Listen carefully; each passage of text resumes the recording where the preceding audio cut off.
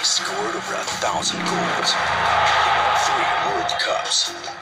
He earned a reputation for honesty and fair play. Now, Pele has joined a new team. Tem muita gente decente trabalhando na indústria do cinema e nós temos que combater a pirataria por causa disso. Rent, buy, or download, but do it legally. E fazer um gol de placa contra a pirataria.